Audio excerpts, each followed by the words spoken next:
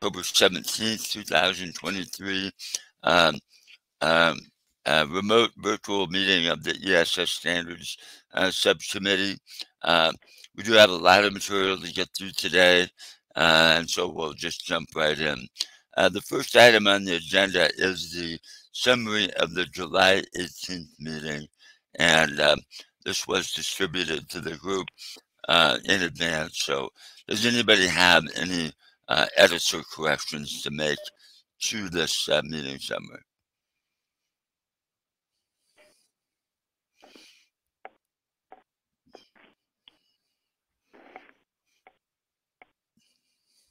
And if there are no um, edits or corrections, um, it would be appropriate for someone that is uh, on the standards committee. I know we have a lot of folks here today, but uh, the voting is done by committee members. So if you're on the standards committee, um, you uh, have the ability to make a motion and a second. So is there a motion um, uh, relating to the standards? I have a motion from uh, Jane uh, to um, to approve and accept the uh, the meeting summary, and uh, looks like I have a uh, section from Katie Carlson. Um, is there any further discussion?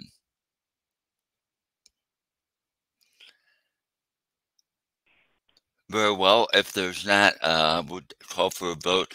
All those in favor, again, members of the committee, uh, subcommittee, uh, please say aye or indicate in the chat pod, whatever works for you. Okay, thank you. Thank you, Deb. Okay. Anyone else?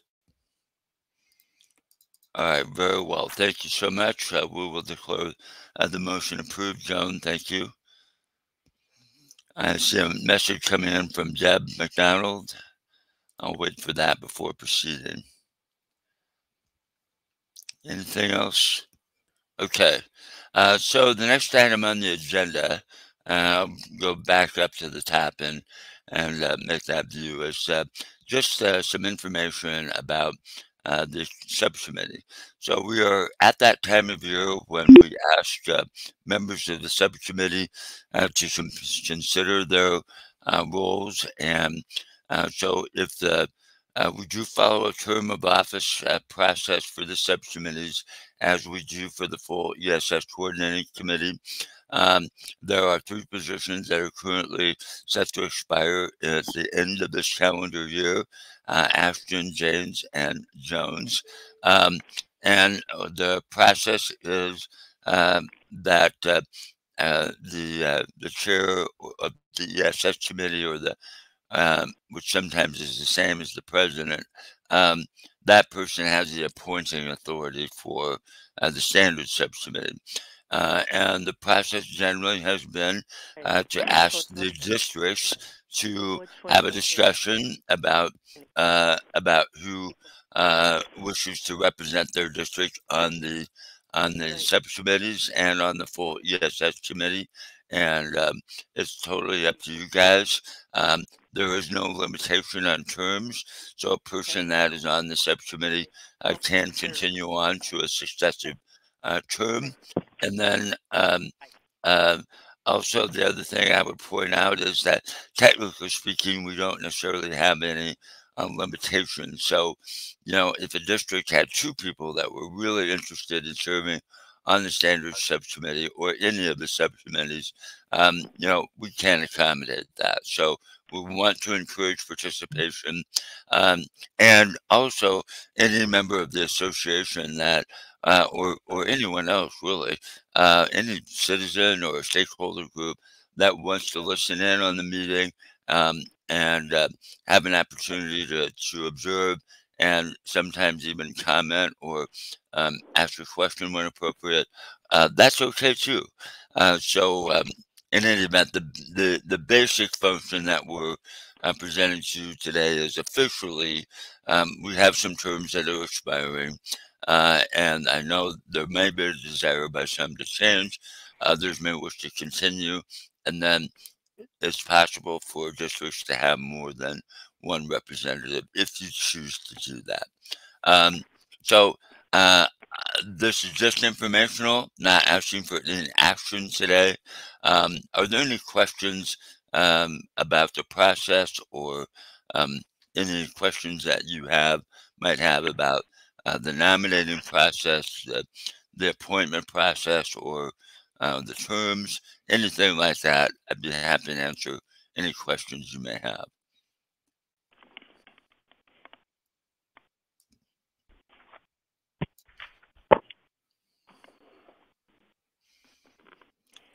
Okay, then we'll move on to the next item on the agenda, and I'm going to switch to discussion mode here.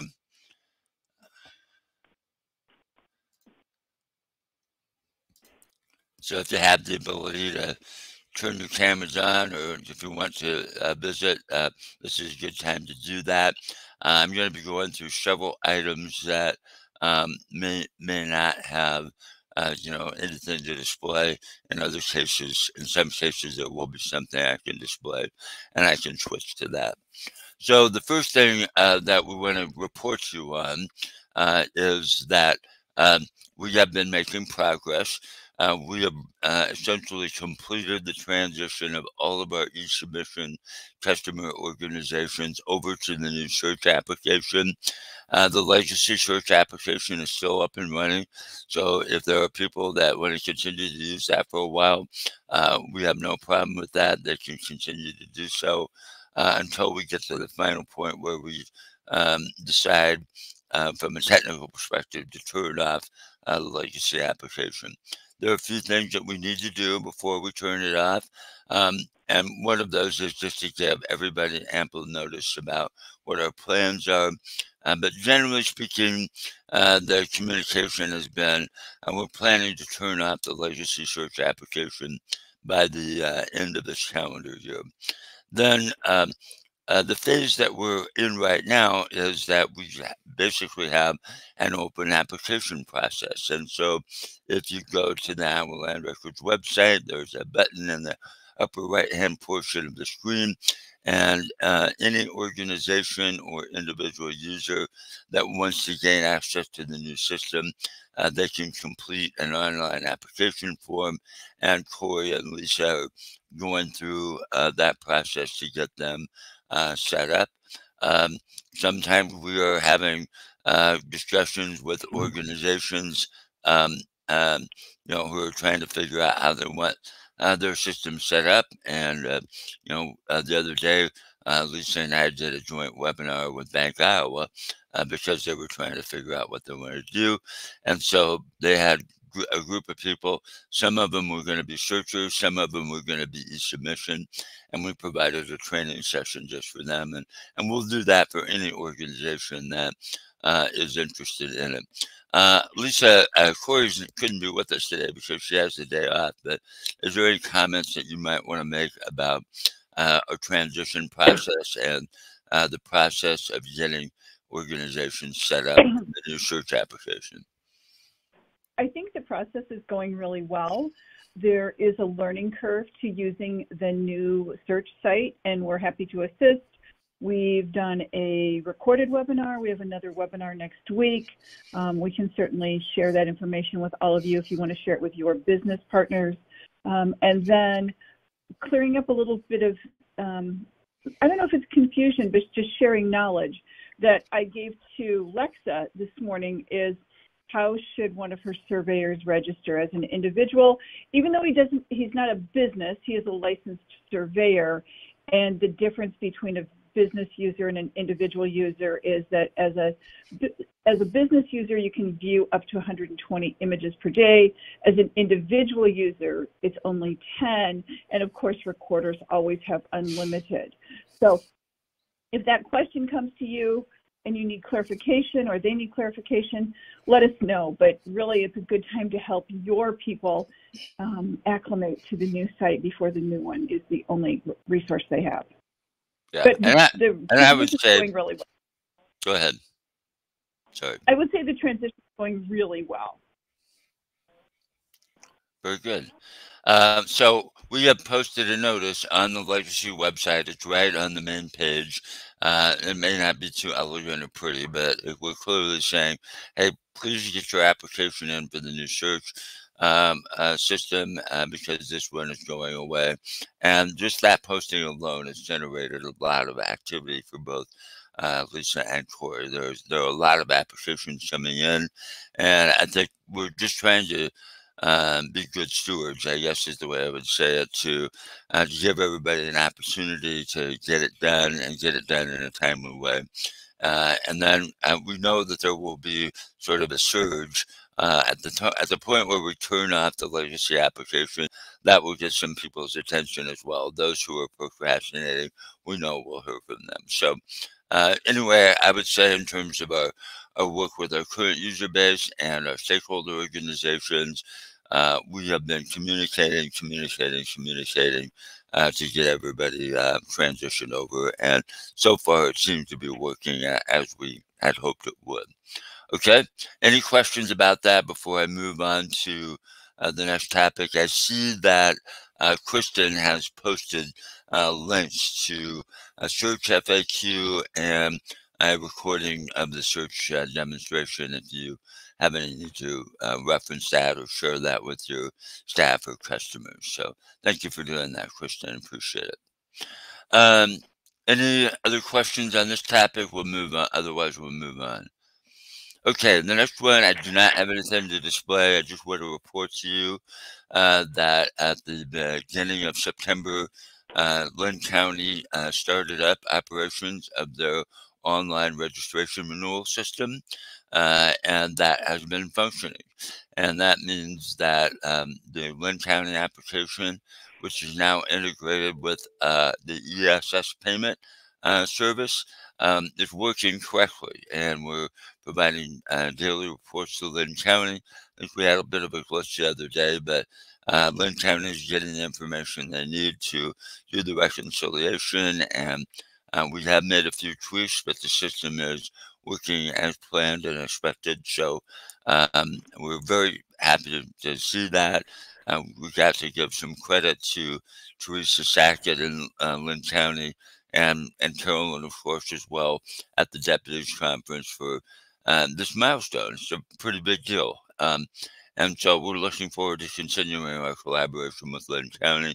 And it's going to be some, a topic that we look at over the course of the next uh, year, nine months or so, uh, to see if we can leverage that to uh, help provide service to other counties as well. Um, the next item on the agenda is also just informational, and that is the um, the e-submission API that we have been rolling out uh, for our local service provider friends.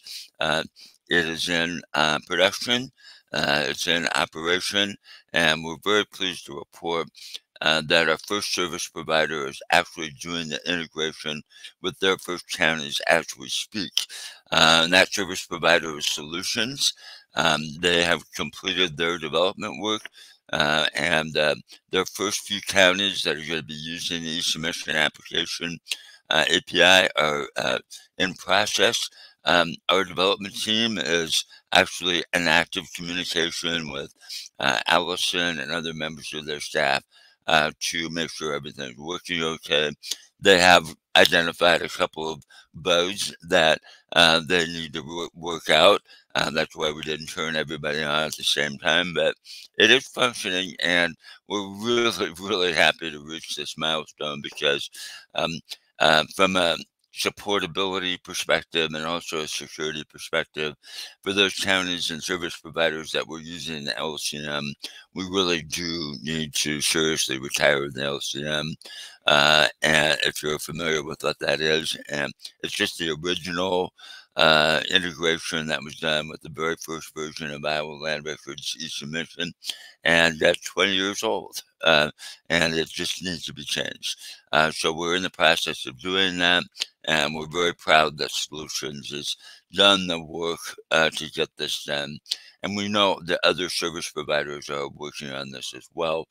Uh, the deadline for uh, this um, is really basically September of next year. So some of the other service providers have a little bit of time yet to work on it.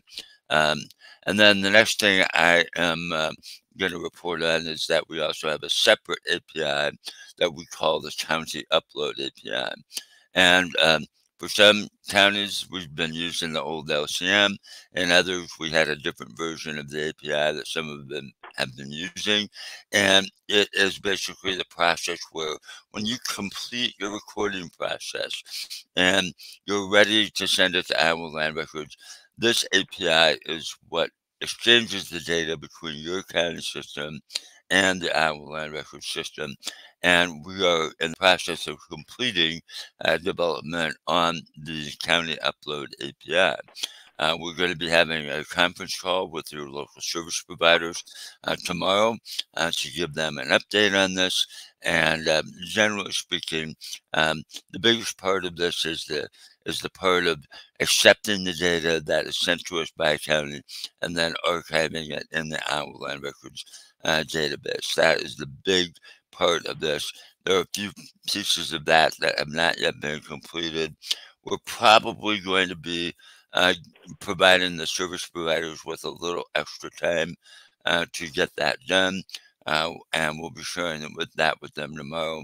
Uh, the updated target date uh, to get that implemented is likely to be December of 2024.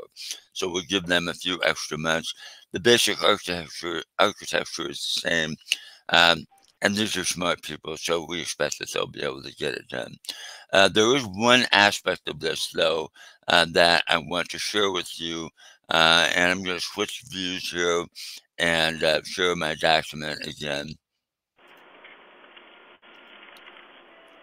And that is something that we distributed in an email about a month ago uh, that we want to share with you and it relates to certain pieces of data that um, are related to data points that historically have not been transferred to our land records, but which are of interest to our stakeholder organizations. And those data points are the date of the instrument, that is the date the document has been executed, the consideration amount, which actually is two separate data points. It's a consideration amount that would be associated with the sale of property, and then there's a separate consideration amount that is associated with the mortgage. Okay. Um, and to the extent that that data is available and indexed by county, um, that would be included in the county upload API. And before anybody panics, let me circle back and I'll explain to you how this will will work. But there are a couple of other items that we're. One of them is parcel identification numbers. And uh, this has been a part of the data set for Iowa Land Records since the beginning, but has not been consistently used, and the data has not necessarily been consistently transferred to Iowa Land Records and then persisted to our database. Um, so what we're doing here is not creating anything new, but we're providing some clarity to the service providers about how their systems should be set up to ensure that the data is um, transferred to us if it is present in the in the county uh, database. We have a whole separate agenda item on parcel ID numbers. The only part about it, that is relevant to this piece of the discussion is how we have it set up in our database and technically what should be done by local systems to get it transferred to our land records. And then last but not least, um, I don't know if this is the right way to label it, but one of the things that uh, the surveyors group has really expressed an interest in is being able to search uh, platted land using an, an unplatted data element like section number. And um, in reviewing this, we discerned that um, the PRIA uh, data structure, which we still use, and our land records data structure does include some unplatted data elements in the platted data structure and specifically the, the section number is included. Uh, and if we were to do something different with that, such as um, persist data, uh, that we receive from the county, then it would be possible for uh, surveyors and other customers to search for property in a platted land, piece of platted land uh, using an unplatted data element like section. Um, we are exploring this idea. This is not a specific proposal. Um, we have a discussion going on right now with the surveyors organization about whether or not this would really solve their question or not. We don't know the answer to that yet, but we are beginning to have a conversation with the local service providers about is this data element in your local indexing system? How, how are you organizing it? And if you do have it, you know, how should it be mapped so that any data that's there would get into our land records? So this is this whole set of questions isn't uh, about uh, requiring um, anybody to uh, to index something in a particular way or uh, to start doing it if they if they aren't doing it. That's a separate policy question. The only thing we're really talking about here is making sure that we have a conversation with all of the local service providers to say if we go down this road, um, you know, are, are we doing it the right way? Are we mapping it correctly to your local system? Uh, are we uh, uh, are we pointing things in the right uh, place so that the data would get transferred successfully if it was present? And and so if you were to go and look at our new search application, uh, you might often see in uh, most counties, I would venture to say, that there is a, a label there that in the search results that indicates something for instrument date, but there may not be any data associated with it. That's just one example. Um, so um, uh, again, I, I I don't want anybody to overinterpret this. There are some policy issues that still need to be discussed. Um, but this discussion is primarily with your local service providers. I would consider it to be a technical uh, discussion, not a policy discussion of whether any data element should be required or whether any data element is required to be indexed. Um, that that's a separate conversation. But it is being talked about, and uh, and so, for example, the the thing that uh, when we when we first posted this, one of the main comments that we back got back from uh, recorders, and I would have to give Travis Chase some uh, primary credit for this, is that you know he pointed out to us and made sure we understood that you know not every document is going to have each of these data elements. So you know, you can't require it. And in the sense that, um, you know, if you're writing a technical system and you're saying this element is required, what that means in the context of a database is that if it's not present, then there's going to be an error. That is different than um, than uh, saying that you know you have to index this information. So basically, what we're going to be doing is saying, hey, if the data is present, make sure it gets mapped to the right place and uh, make sure it's in the right format. Uh, and then we will persist it to the database and then we'll share it with the, uh, the, the viewer, the customer. Uh, but it does not mean that it's suddenly a mandate that everybody has to do it. Uh, this is really a technical issue. So I've tried to explain that as best I could, um, but um, if there are any questions about it, um, you know, I'd be happy to happy to discuss it uh, before we move on. I'm going to switch back to uh, discussion mode now. Okay. Any any comments? I'm looking in the chat pod also to see if there are any comments about that. Uh, nothing so far. Did I explain it adequately? You know, are there any other observations or questions that you would like to share before we move on?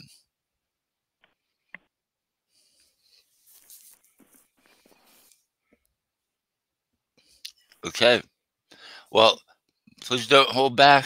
Um, if you have comments after the meeting, uh, um, please uh, re- review this, give it some consideration. Um, we're going to be again talking to your service providers about this in our call tomorrow, and we'll see what kind of issues or roadblocks we run into, and and report back to you later. Um, uh, going back to the agenda, I'm going to keep it where I'm at at this point, but I uh, just want to uh, touch on um, uh, three other topics, and then we'll move on to the policies and procedures. Um, the first is um, we are uh, in a situation now where um, our uh, firewalls are not working correctly. We've had uh, Cisco firewalls, um, and basically, this is the device that kind of keeps the bad guys out. And the way, um, not going to get into the technical issues of firewalls, but right now our firewall system is not working as it should. We do have a firewall in place, uh, but unfortunately, we do not have a backup in place um, because of, um, I guess I'm just going to say, supply chain issues uh, with, Cisco. Uh, and uh, as a result, uh, if if our firewall, our primary firewall, were to go down, right now, uh, our system would not be accessible. It doesn't mean that we would be attacked. It doesn't mean that the system is down, but the system would not be accessible because we just aren't going to let anybody into it, you know, without going through a firewall. Um, and so this is a not having a failover to a secondary firewall is a, a serious operational concern. Uh, serious enough that we have uh, accelerated some of our planning around the idea of moving uh, to the cloud um, and being in a managed or hosted system, uh, not not a hosted system in the sense of uh, a, a, um, a, a, software provider, but a hosted system like a data center that is uh, capable of basically operating the equipment um, that your system runs on. Uh, and um, and so we have been uh, working with LightEdge uh, as our data center in Altoona for many years now. Uh, they do a very good job, and so we are uh, uh, planning to switch from our Cisco firewall to a FortiGate firewall and take our first steps into the cloud, so to speak. Um, those discussions are underway right now. Uh, I do intend to uh, take action to um, authorize the um, the transition of the firewall. We're going to be switching from Cisco devices to FortiGate uh, devices, um, and the important part of this from your perspective as the standard subcommittee is this is our first step into the cloud. As we look ahead to the next year, we're looking at um, um, reaching the end of life for most of our servers and our uh, storage equipment. Uh, we are already doing our backup in the cloud with Amazon Web Services, and that is likely to continue. Uh, but uh, we need to do something about our firewall. Uh, so I just want to inform and advise you that that is a change that's underway. Um, changing the firewall uh, structure does not necessarily commit us to change everything uh, to a, uh, a cloud environment. But uh, and quite honestly, um, that's probably the direction that we're going to be going. And I want to make sure that you're informed that we're beginning to take that journey and we'll see where it goes. And we'll have more to report to you uh, as we go forward.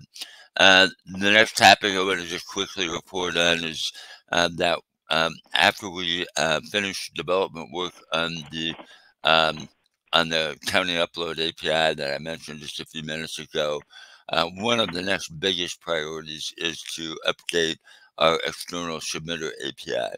And this is the API that the big national e-submission companies connect to, um, but also we have some local uh, local organizations that connect through this API as well, including Iowa Department of Revenue.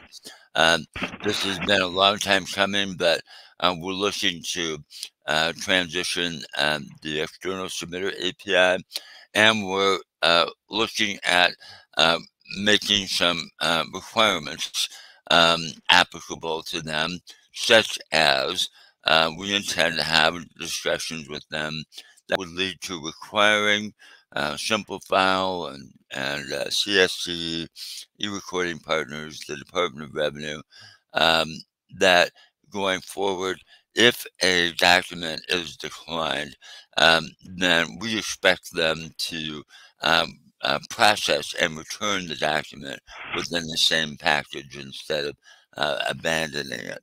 Uh, we are also going to be discussing with them uh, changes that would have them uh, present to us information about their customer so that if you are looking at a document and you need to communicate with the individual or the organization that prepared or submitted the document, uh, that you know who to communicate with. Um, and today it's kind of a black box, and I would say a very common uh, suggestion, I'll put it that way, is that we wish we could um, actually, you know, uh, know uh, when a document came back to us after we declined it, because it's pretty hard to tell when it comes back in a brand new uh, package, and you know our memories are just not built to do that. So um, that is something that is, I think, for 2024, uh, for our technical team, that's a very high priority. Uh, the third and last uh, uh, of these items I want to just give you an update on, and I might want to entertain a little conversation about, is to change uh, the methodology that we use to process documents for PII and uh, the redaction process that we use. There are two things going on that um, uh, relate to this. One of them is the budget.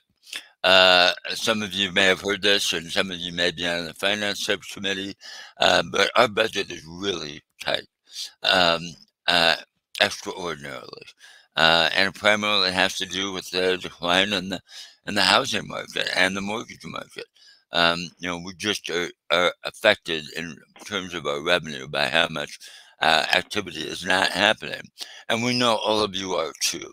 Uh, so this is sort of putting us in a position where we need to uh, revisit uh, conventional wisdom in some cases um, and see if we can find a better way to do it that maybe will uh, still allow us to provide the security that people want, uh, but maybe do it in a less expensive way.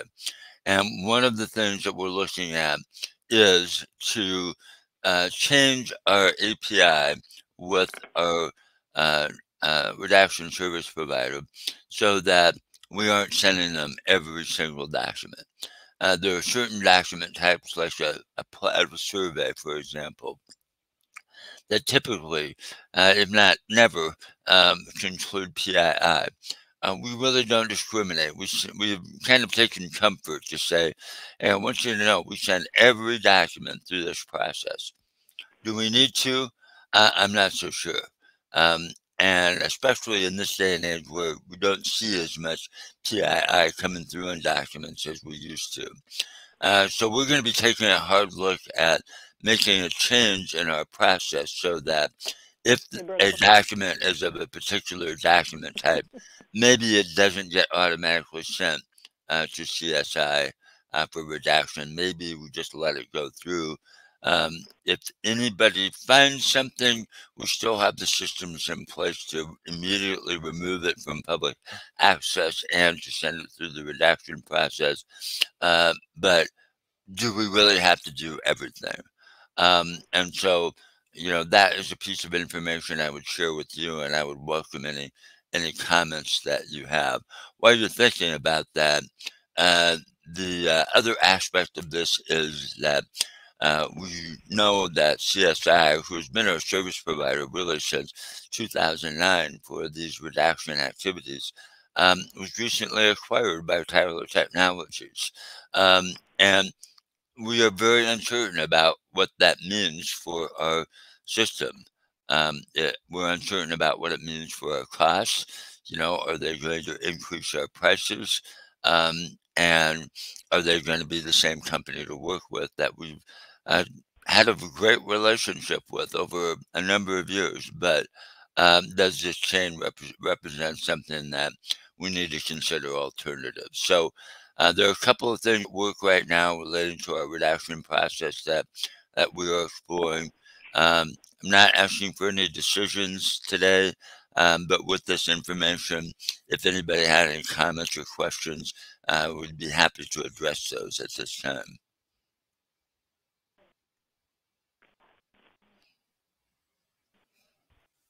And please feel free to enter a comment or question in the chat pod if you wish. Any questions?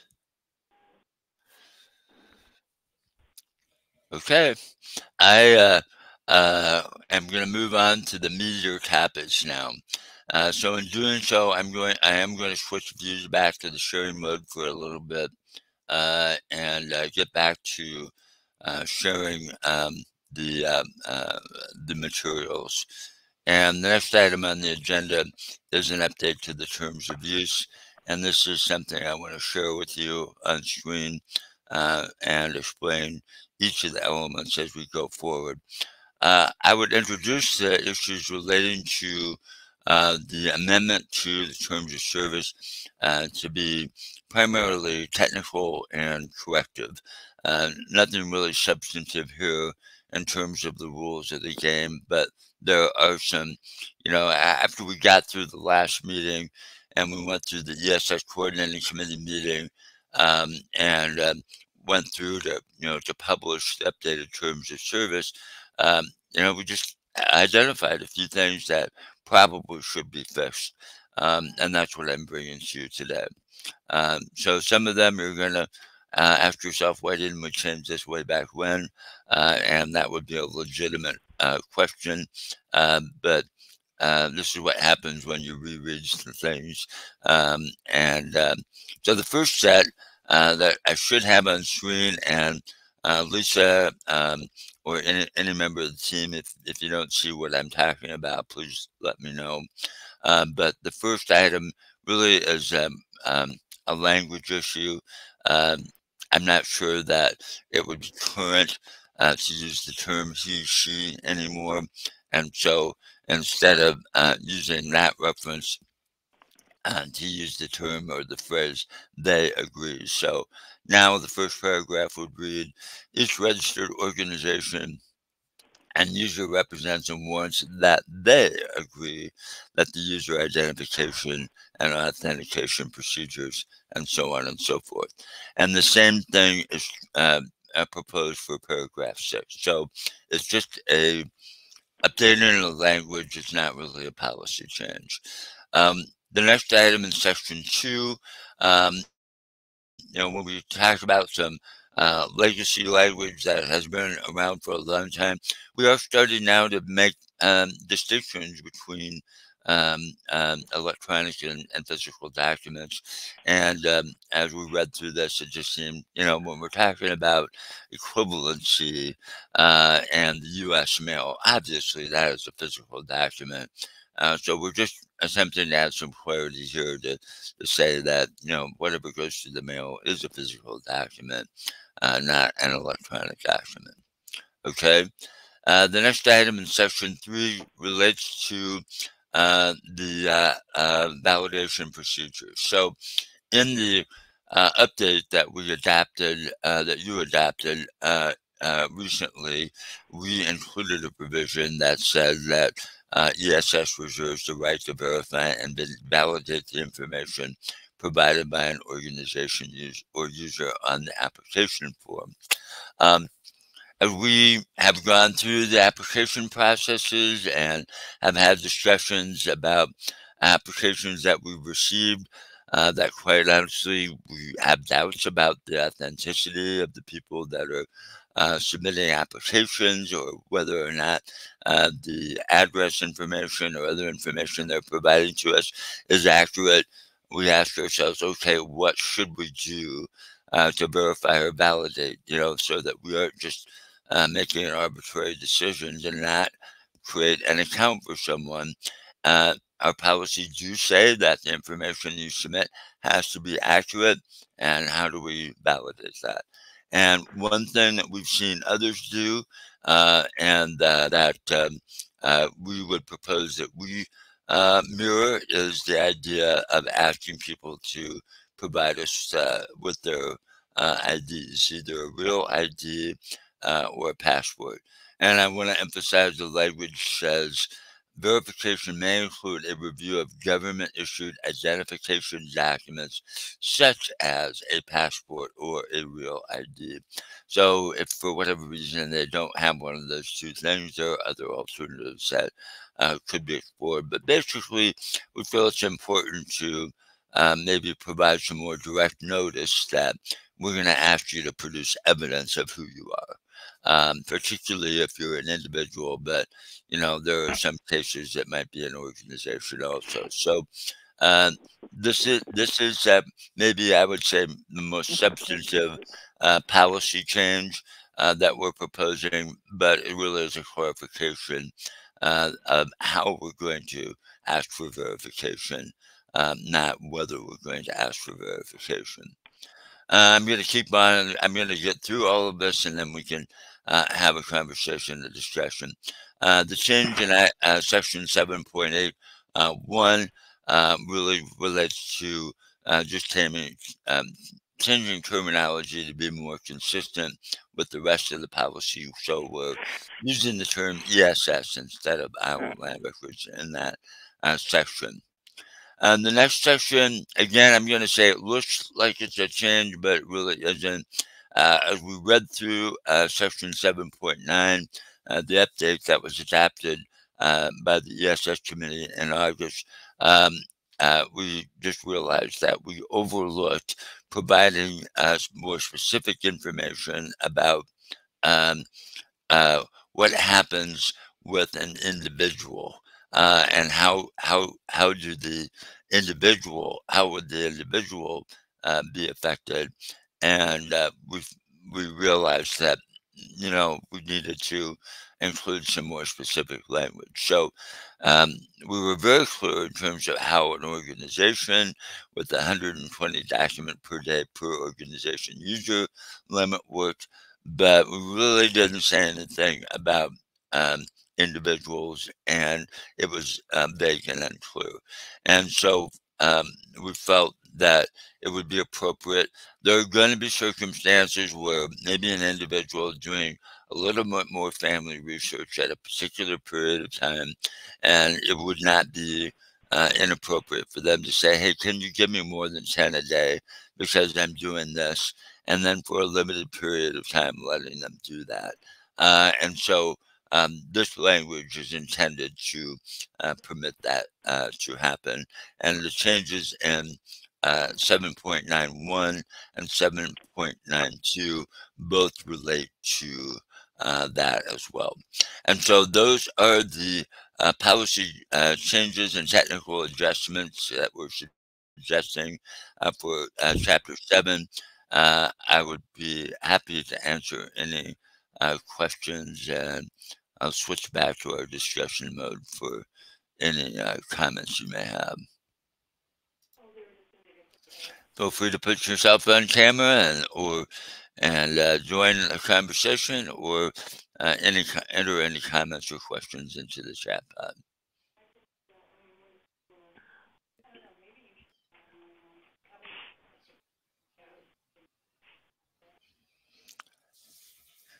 Any questions or edits or changes that you wish to suggest?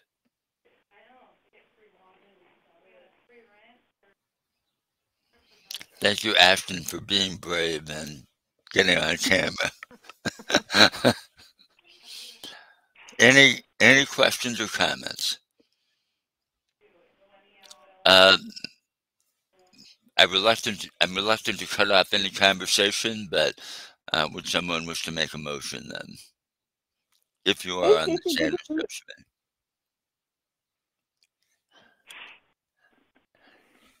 Does anybody, anybody on the committee wish to make a motion?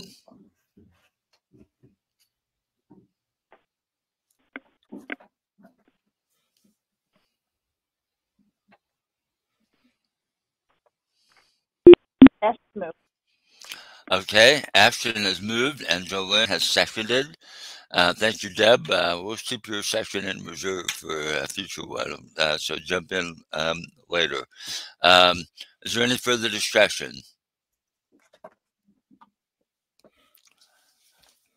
If not, I'll call for a vote. All those in favor, please say aye or enter an aye or a vote in the chat pod. Thank you, thank you, thank you, Ashton, Jane. Okay. Are there any opposed? Um, please uh, uh, signify by saying nay or entering that in the chat pod. Uh, thank you, Joan. Hearing no uh, opposition, I will declare the motion to be approved, and we will move on to the next uh, next topic. So I'm going to switch back to sharing mode now and uh, we're going to uh, go back to uh, the, the packet of materials. And um, I am uh, going to talk a little bit now about associated documents. So, as you may recall, and again, uh, team members, if you feel like I'm not displaying the right thing, let me know.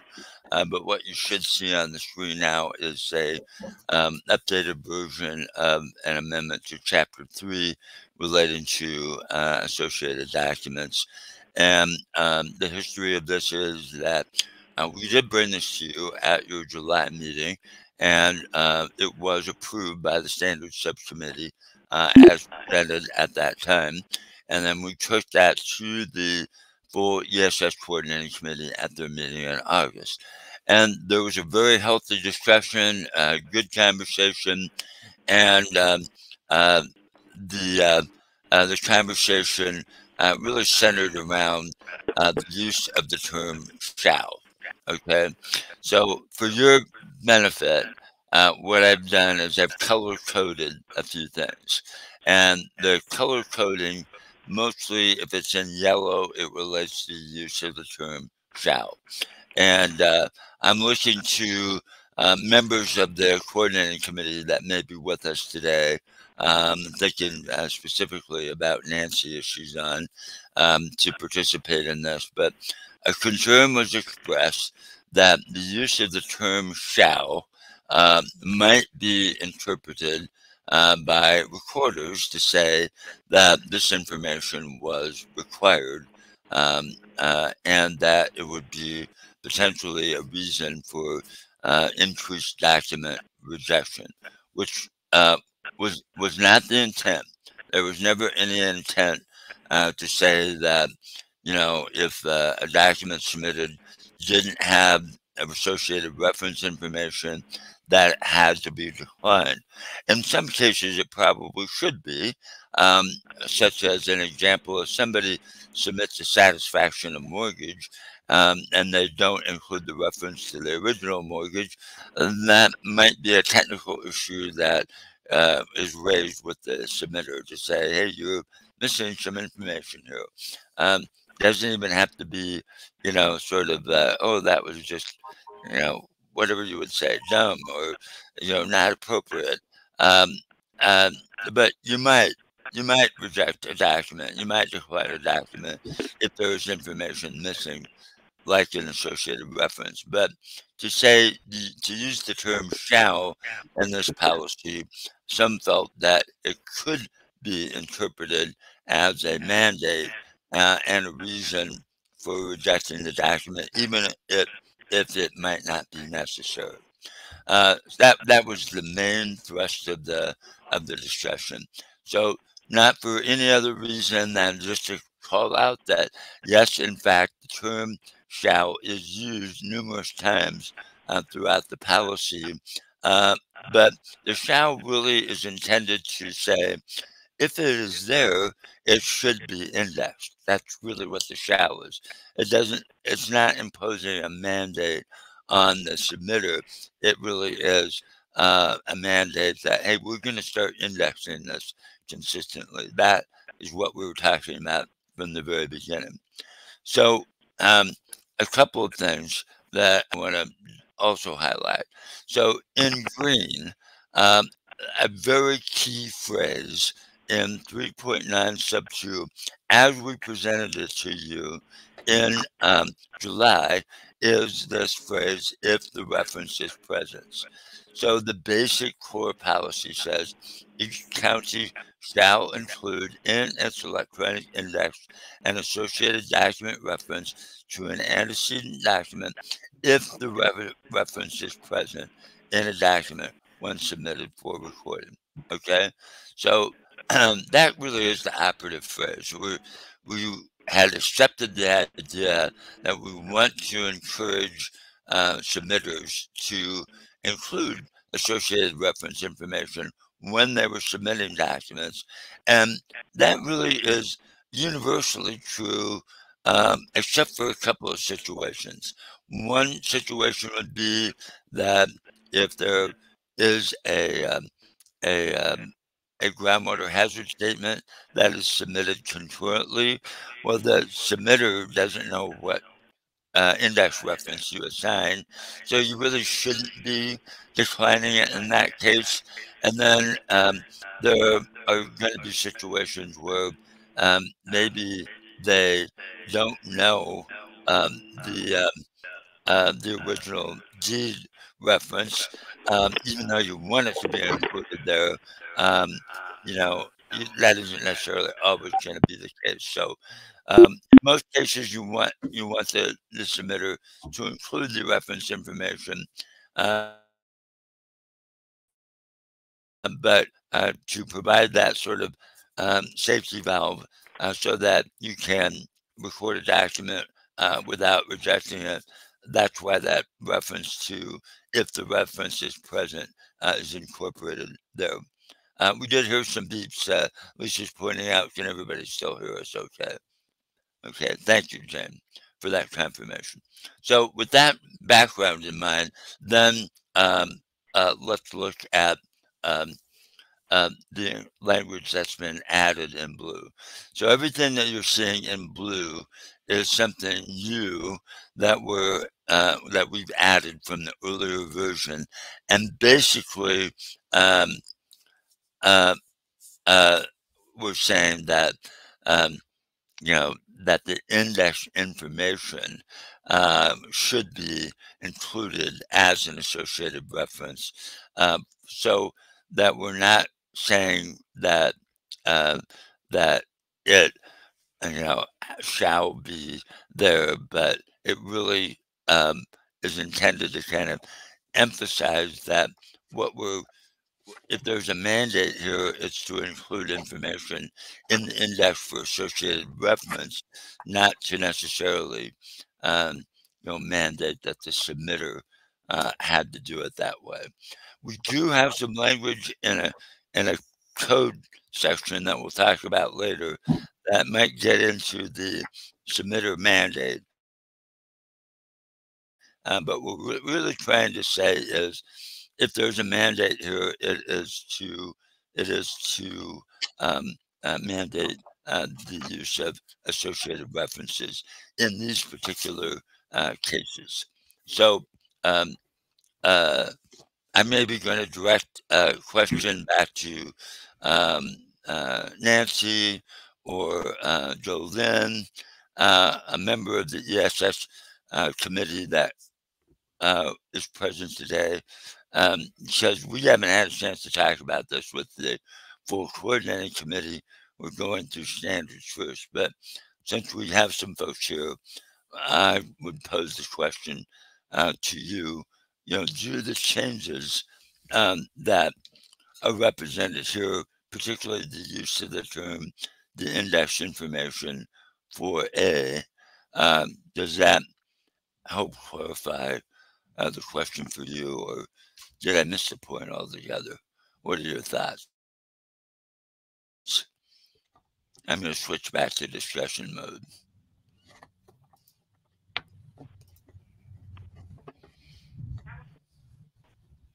Comments from Nancy, Jolene, um, or anyone else?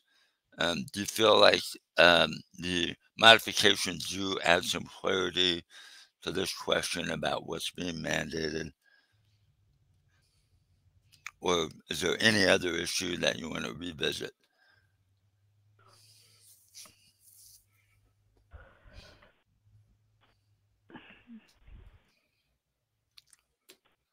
Nancy entered a comment in the chat pod. That language looks okay to me. Okay. Boy, if I did something right, it's an amazing day.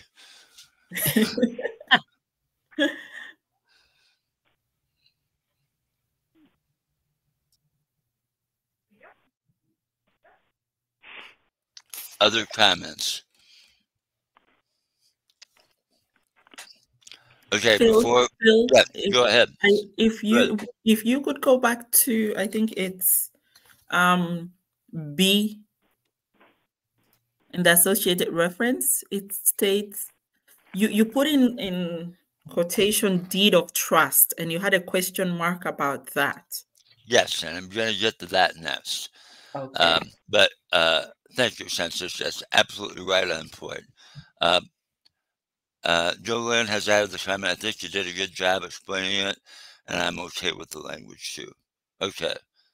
So I think we've resolved the question about the mandate with the addition of the language.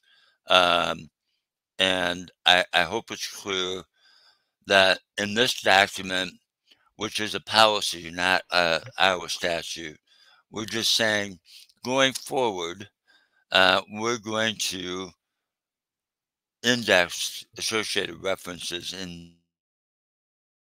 these situations, that these are things that we've identified are of interest to users, uh, and we're going to do the associated reference indexing with the understanding uh, that uh, uh, that uh, we want the information to be present in the document whenever possible. It may not always be possible, such as the case of a, a groundwater hazard statement or um, something, but in, in most cases, if somebody is interested in associated reference, they probably should be incorporating it in the document they're submitting for recording. And I think in most cases, that's a reasonable um, expectation. Um, so uh, then, uh, last but not least, I just wanted to raise a question. Uh, so this is not a recommendation or anything, but um, uh, one of the things that uh, kind of um, cropped up in some related discussions is, um, uh, and it actually um, had to do when we were talking about um, uh, instrument dates. Um, you know, said, well, uh, one of one of the pieces of input we got as well, you know, in certain documents we we don't get an instrument date, you know, and um, uh, in in other cases, you know, there were there differences in how uh, things were indexed locally. And one of the things that was observed is um, that a deed of trust is very much like a mortgage. Um, and uh, it just caused me to uh, say out loud, gee, um, should there be uh, associated references for deed of trust if they're like a mortgage? And is there any uh, related document to a deed of trust that should have an associated reference? And so this um, this is the a question I'm asking you. Uh, so I'm not making a recommendation. It just is a question that occurred to, to us um, to say, you know, should we be doing something with deed of trust? And if the answer is no, that's Phil. You don't understand. We can remove it, but I did want to just ask the question, and then I will come back to Anne's uh, comment.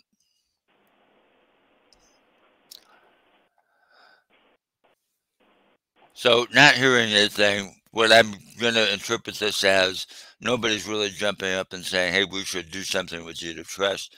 Um, thank you for indulging me. I appreciate um, um, uh, the question. Um, I see a comment now from Sherry saying, yes, the deed of trust could have a release. Um, mm. does that happen very often or uh, rare? Yes.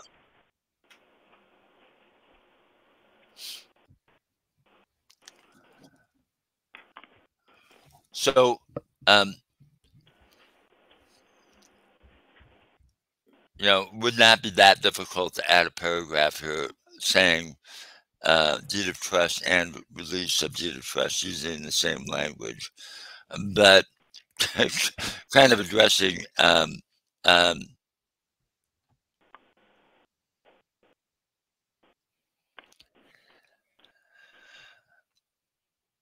I, am here's what I'm going to say at this point, and that is that uh, I rather than uh, slow things down, uh, let's remove the deed of trust from the discussion.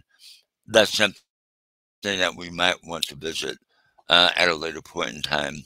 And I do think that um, um, the question that Ashton has raised in the chat pod is a is a fair one because um, if you index a deed of trust as a mortgage, you it and and we all see that done, um, or that not everybody does it the same way. Uh, that that might be a policy thing that we review.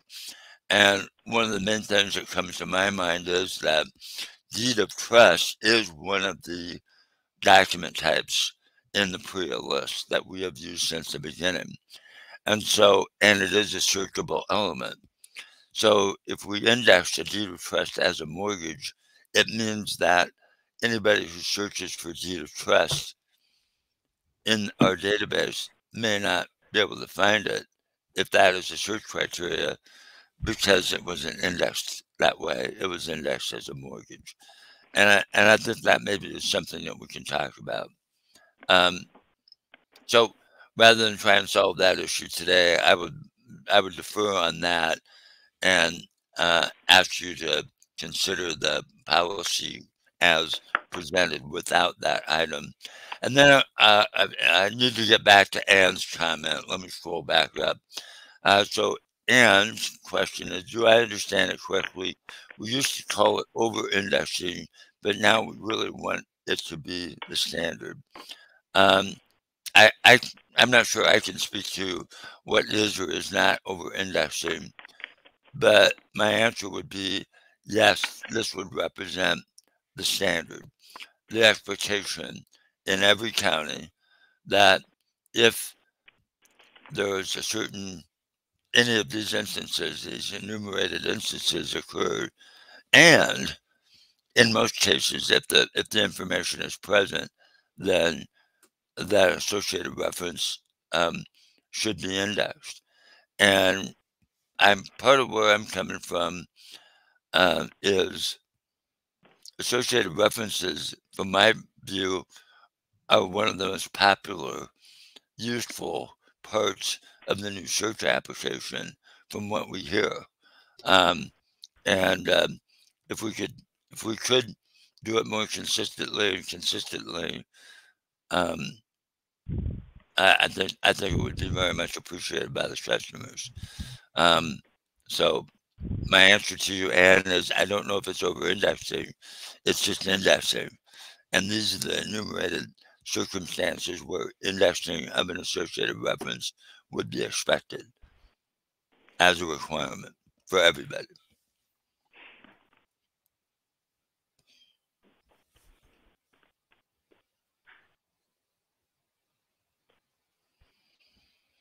And I've got some additional comments. Um, uh, Nancy said, we index any reference in the document, um, even if it's the legal description. We figure it helps the abstractors same here uh, from Joan. I don't consider it over indexing.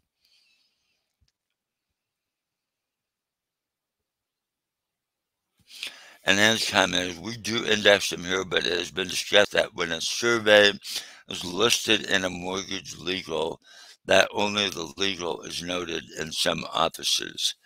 Um, I would say the way that this has been constructed is that the policy would not require um, not require you to uh, index uh, a um, a survey to a mortgage uh, that is an associated reference.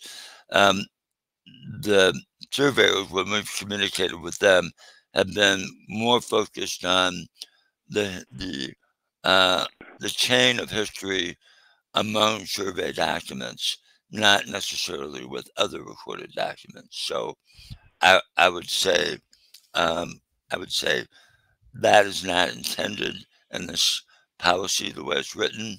Um, only between surveys or similar documents, not with other recorded documents.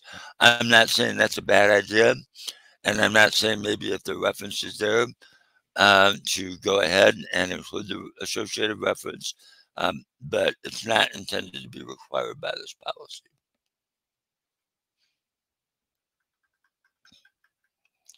I appreciate the comments. Um, um, uh, I would what I would suggest is if we, if we wanted to go further to include a reference to a survey that appears in a legal description of another document that's not a survey related document. Uh, happy to happy to review that, uh, but uh, not necessarily required at this time. It would be what my suggestion would be. You, as a subcommittee, um, you have the authority to make motions to amend. Um, and if anybody wishes to do so, um, now would be the time.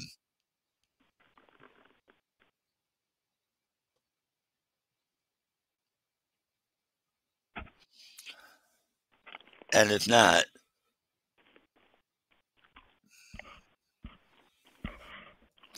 Uh, Jane, uh, Jane made the comment, sometimes the document refers to old surveys that are not recorded or imaged. And so there, if there is no recorded reference because they weren't recorded, it's a little hard to Network. hard to um, uh, include an associated reference. Maybe they do need to be recorded, even though they're old. Uh, but uh, that's not where we want to go today. I, I think that there is a um, oh, so they're recorded, but they're not indexed yet. Well, again, if they're if they're not in your electronic index, or if they are not there, um, we're not asking you to go. We're not suggesting that you add associated references to things that you have not indexed. Um, maybe maybe you could. Um, I would say that's beyond scope of what we're talking about here. And very, maybe a very useful idea, but not not what we're talking about here. I'm going to save this conversation for uh, future discussion, both with you and the surveyors. This has been very good.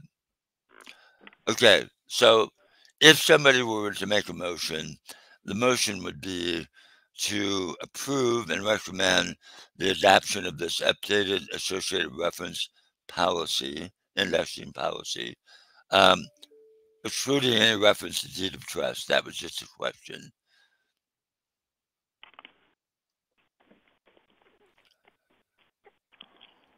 Do you wish to proceed?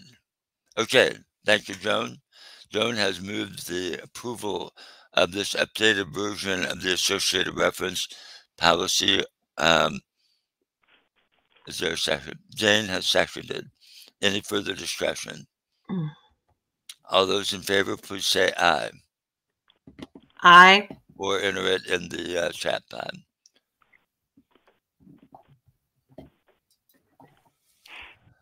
Very well. Uh, are there any opposed? And if you would say nay or enter nay in the chat pod if you're opposed. See no opposition. We'll declare the motion approved. And uh, we're going to move on to the next uh, potential action item. Uh, so I'm going to stop uh, uh, the uh, discussion pod and we're going to switch back to um, the sharing pod. And I'm looking at page 16 of the um, of the of the document. And uh, this relates to parcel identification numbers. We have talked about this. Um, I guess you know if you want to go back and look at it, we uh, originally adopted a policy. You adopted a policy back in 2013. It was amended in 2015.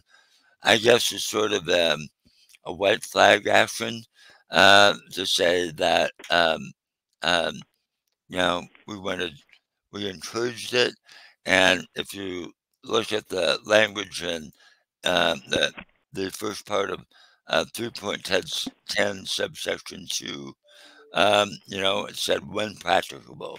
Uh, that when practicable was added back in 2015. And that was because um, I think honestly, um, it just was not a strong consensus and was not widely uh, adopted.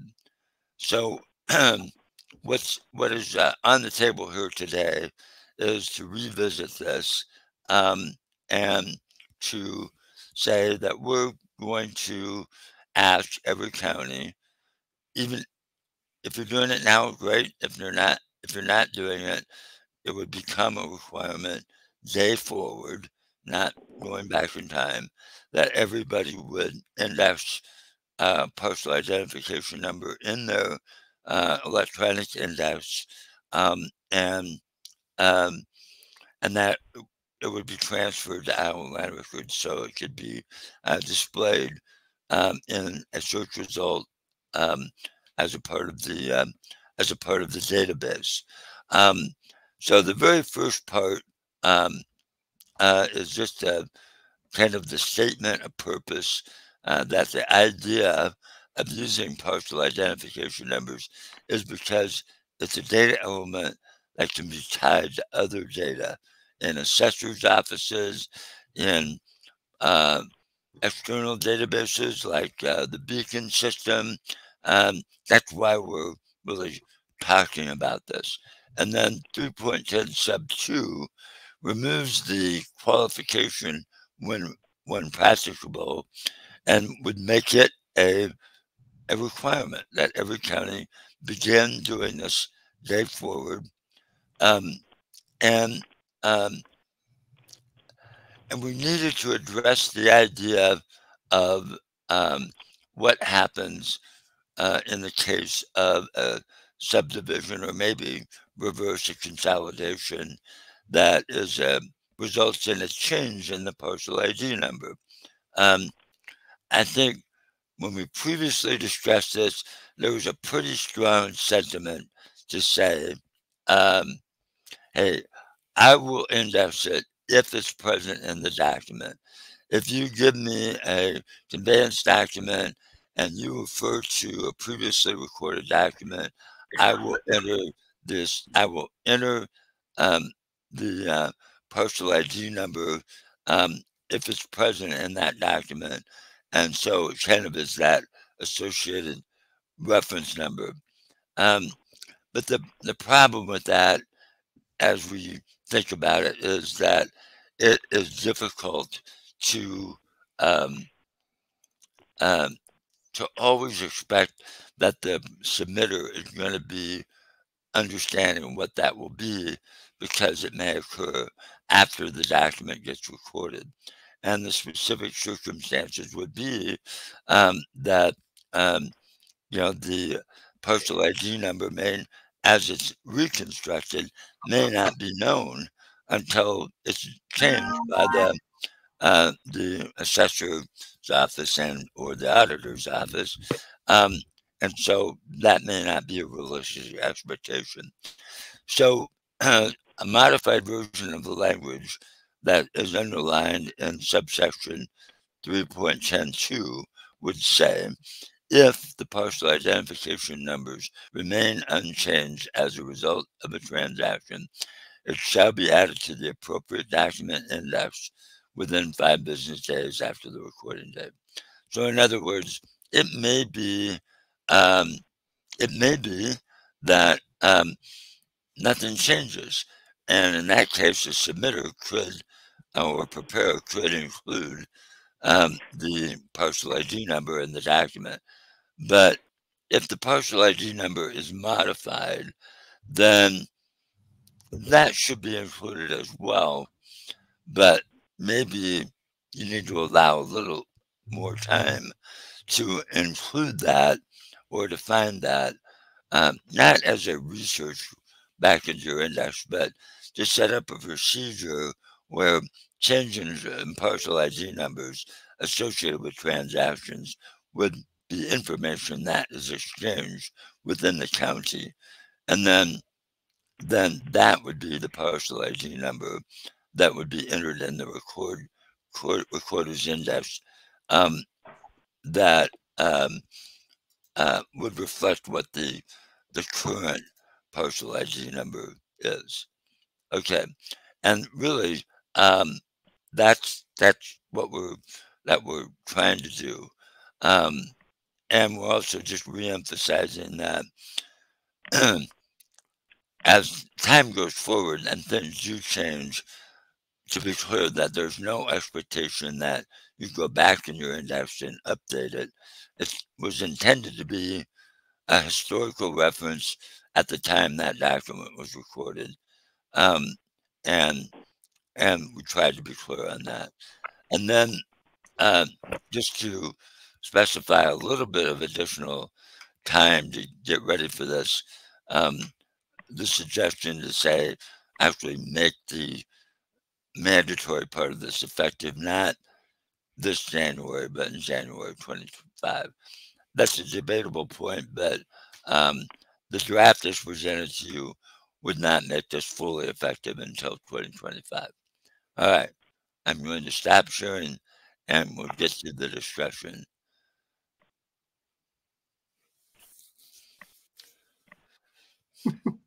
Tell me what you think.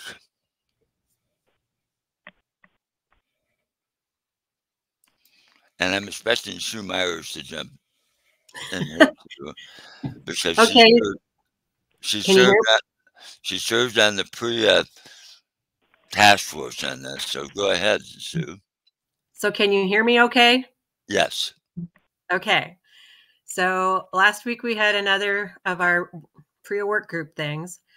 Um, and those of us on the phone call have the, the white paper is going to reflect that this number shall be referenced in the land records management system. So that's what the our work group has agreed to and changed the language to.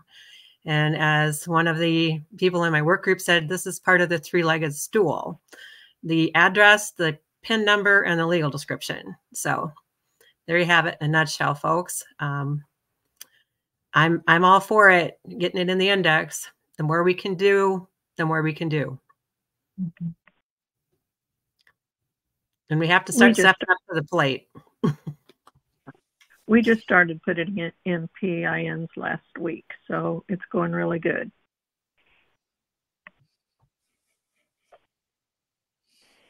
I have a question. Can you guys hear me okay?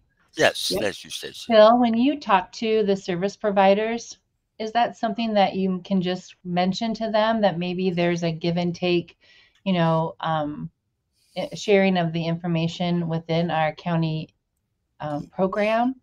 Um, if we use the same, you know, like Tyler Technologies, we push information to the auditor. Is there a way that it can get pushed back? You know, when they enter parcel ID numbers, can it get pushed back somehow? or um, I don't know. It's just something that you know, um, if it's been getting entered correctly by another office, is there a way that that can dump back into, or there's a way that we can pull it in? But that's just me thinking outside the box a little bit. Uh, actually, you're not that too far out of the box at all. It uh, it does uh, uh, does happen that way. Yes, we have talked to the service providers about it on Mm-hmm. multiple occasions, and and they they know this is coming. Uh, they know we've been talking about it a while, Mm-hmm. and and I and at tomorrow's conference call, we're going to be talking to them again. The main feedback that we get from that we've received from the service providers somehow there was a miscommunication or whatever, but in the beginning, they got the impression that uh, maybe it wasn't required, and so they didn't do it. But they have expressed to us that they, if they, particularly if they serve another office in the county, that they do have the ability uh, to provide that information. But for whatever reason, over these many years, they just haven't sent it to us, and, and so that we can persist it in our database. And now that we're having this conversation, I think generally uh, I, I really haven't received any uh, policy or technical resistance from uh, the service providers. There may be some changes that they have to make, uh, but um, but but generally, generally, what I hear from uh, the service providers is if the recorders ask us to do it, we'll do it. Uh, we won't take your word for it, Phil, but if they tell us that they want to do it, um, we'll do it. So that's kind of the, the feedback that I get. Uh, let me scroll through uh, just a couple of the comments here. Um, um, uh, so yes, I think some other people are affirming your idea. Uh, I know it's being done in some places. Um, Anne has said, are the pins coming in on the deeds and the legal description? And that's what you're indexing, or are you going out and grabbing it after the fact? Um, uh, my, my answer to you would be going forward that there be communication and that we encourage submitters to include the PIN when they're submitting the document for recording. And that particularly in cases if uh, it uh, is not changing, it's just the same parcel being transferred from party A to party B, um, it should be in the it should be in the document. Okay, but then uh, the difference is what happens if uh, property is conveyed and then uh, the other office in the county has to change the parcel ID number because of a subdivision or whatever action.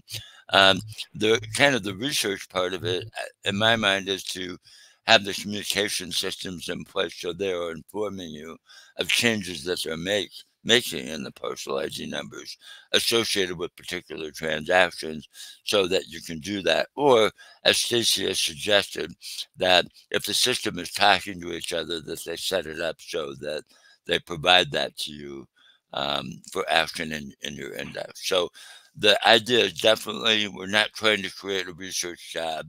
Um, in most cases, when property is conveyed and there's no change in parcel ID numbers, what we would be saying is submitters, you need to be including that in the documents that you're submitting. Um, but there are going to be those cases where things change and other other systems have to be in place uh, to facilitate that, exchange. Joan added the comment, we have our Utters real estate department enter pins for conveyances in our index now. This has been happening for almost 20 years here. So in this case, if I understand what you just said, uh, Joan, you're actually providing uh, a means for your fellow office holders to enter the data for you.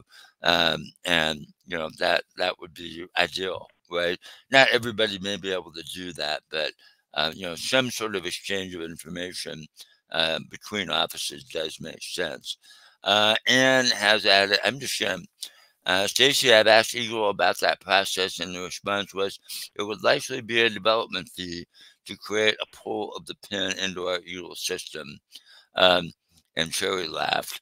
Uh, and then uh, Teresa says, we just enter parcel ID numbers for transfer conveyances. Currently, we do a parcel search each using search using Tyler version 10 and export them in Excel. However, if a parcel number is on a mortgage or whatever, we don't put them in. On splits, the auditor lets us know what the new parcel is, and we enter it in our index at a later date. Uh, my a question to you, Teresa, would be, you know, uh, try to make our best estimate, but is 20 business days usually enough to do that uh, indexing at a later date? Did we get that right, or does it need to be different than that? I saw Stacy should shake her head a little bit on that. Um, I think 20 days should be a sufficient. You think it would be? Stacy, add your comment. I'm not hearing you. You've got you're muted. Okay, there we go. So like a subdivision plat, um, our um, the assessor has to assign what year it's for. So that may take a while depending on where it is in the process, like for tax um, when taxes are being run. I know every county is different, but there is a time that they hold and don't process the new subdivisions as they've already rolled it down to the treasurer, the auditor's office has. So that's the 20 days may not be sufficient in some situations where there's new subdivisions with new parcel numbers and and there may be times where a plat may also have you know 15 20 30 sub or parcel numbers as well that's kind of where i don't know if there's a way that you could if there's more than only you only have one space in your index indexing for a parcel id number how do we let the people know that are searching it that there's more you know maybe joan has with Cott they maybe have you know unlimited parcel id numbers that they can enter but i think some some county um, counties may only have one or two places to put parcel ID numbers. So okay. that's something that we have to think about too, or maybe you guys already have. Um, should the language say something like, I mean, we got a couple of options here in this uh, 310 subsection 2. We could extend it to 30 days. We could change the number there. Uh, we could be more general and say, shall be added uh, to the appropriate document index as soon as practicable after mm-hmm. the recording date to give a little flexibility there. Um, mm-hmm. I, I, I'm, I'm being honest and saying, you know, I'm making best gesture from my perspective, yeah. and I think that's why we should talk about it here. As long as it gets done, right? Mm-hmm. Um, um, uh, I just wanted to give some update, something that I remember during the legislative procedure when uh, the treasure was it the treasurers were working with ISAC and they had that legislation that they they had proposed, which is it required that I think before a property was sold, they had to make sure they had paid all the mm-hmm. amounts that were required. One of the discussions that some of them were talking about was some way of synergy between recorders and um, the auditors and the assessors. So I think this opens up room to have that mm-hmm. conversation and see how this information can easily flow through or it's sent right away or whichever mechanism is there. Mm-hmm. Um, okay, I, am having to scroll through. Uh, and did you suggest a specific time frame.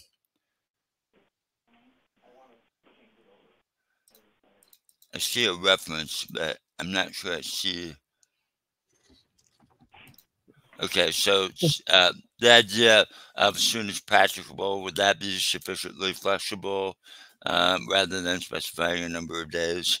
Um, and I think that, that would, go ahead. I think that would be a better idea instead of a specific number of days. Okay, thank you. Okay, so um, uh, with the understanding that uh, we would modify the language here um, uh, with regard to um, if there's a change in the parcel identification number to say something like as soon as practicable. Um, and is the five day limit okay for if it's unchanged, or should that, that be something different as well?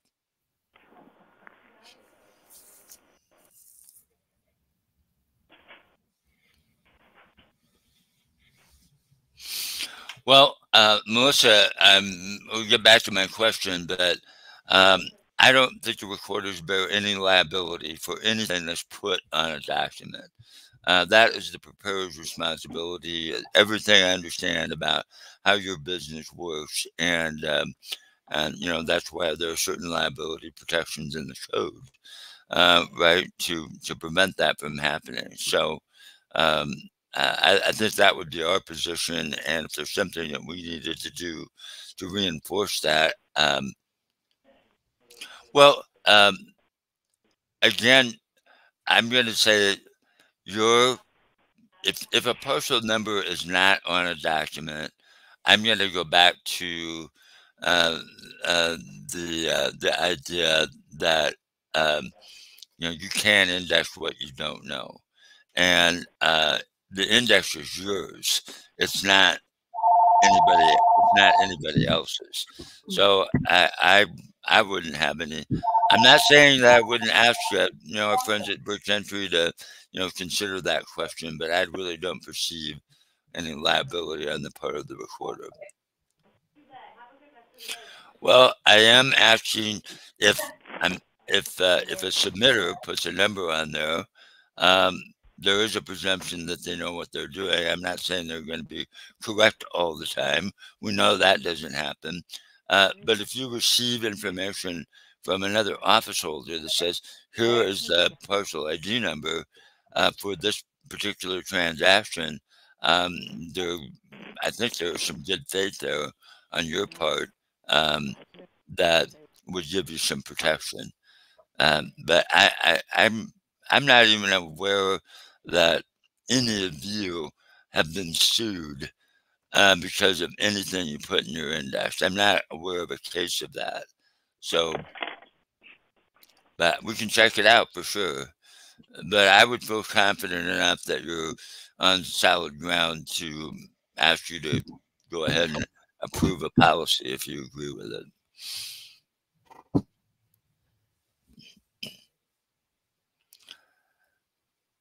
So if So somebody, Lisa.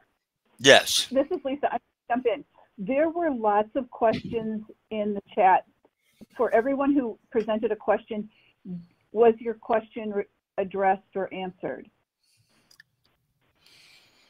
And I know you, I'm not pointing you out, Ann, but I know that you had several, Deb McDonald in Eagle Indexing, you don't have that area, but I wonder if it's a simple add, and you might be able to get that information from other people at Eagle.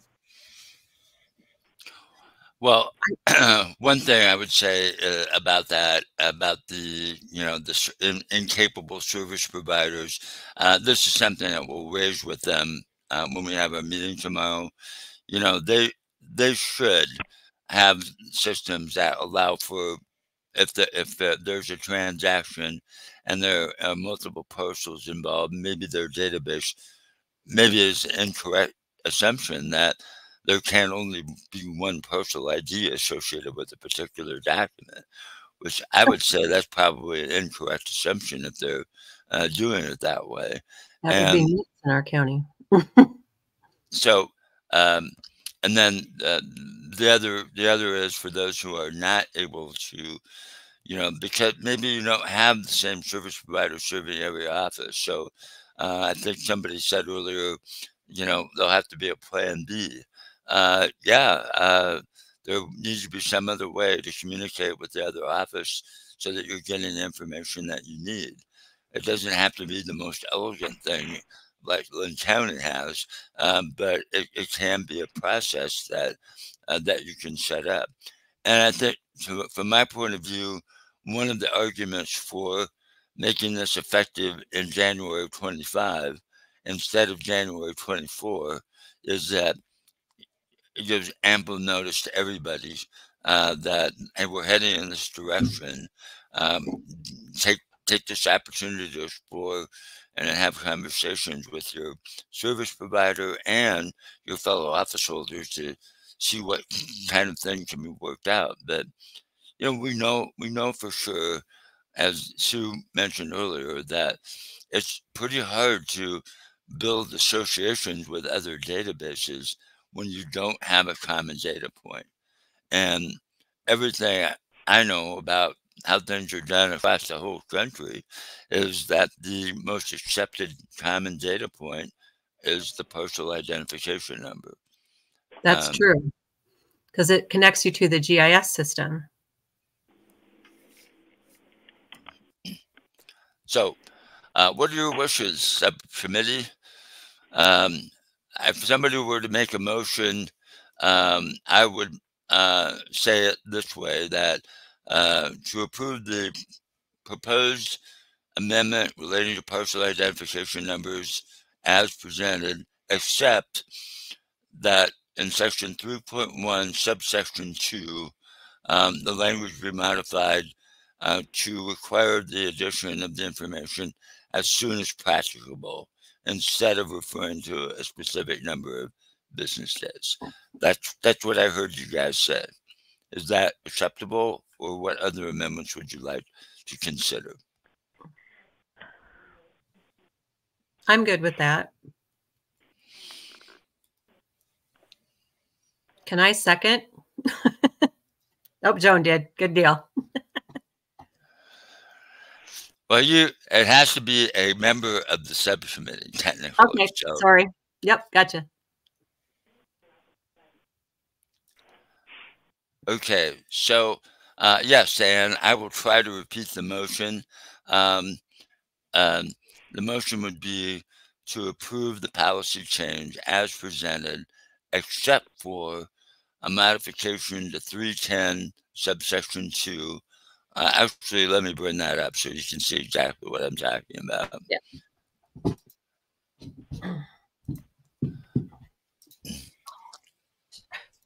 So what I have on screen is so if you look at this whole section 3.10 sub 2, that this whole underlying section would be changed so that uh, the time frame required would be as practicable, as soon as practicable, um, to, to allow for flexibility uh, for different counties, different systems, as whatever.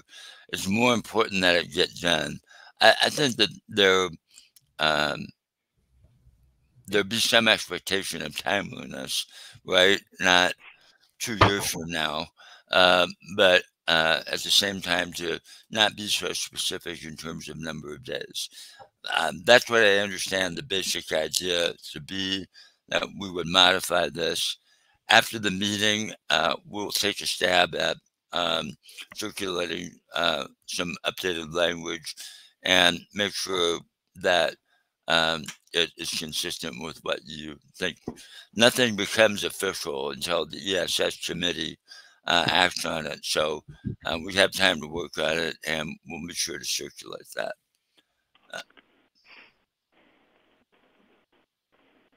Can I just make one more comment on this? Yes. You know, parcel numbers and your most of our service providers are are nationwide. They have nationwide customers, not just Iowa. And this isn't new. and it's happening in other states. So tell them not to give you any pushback, get busy and do it.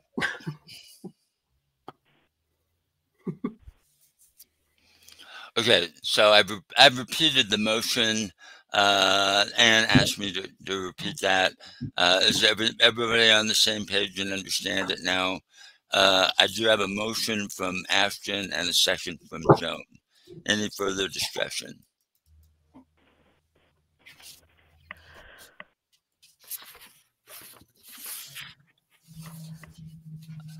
Uh, if there's no further conversation, I say, first of all, thank you. And I would ask for a vote. All those in favor say aye. Or, or type it in the chat pad. Thank you, Joanne, Naomi, Ashton, Jane, Deb, Joan. Okay. Uh, is there any opposition from a member of the subcommittee? If so, please say or enter nay in the chat pad. associated reference doc, like related Okay. documents.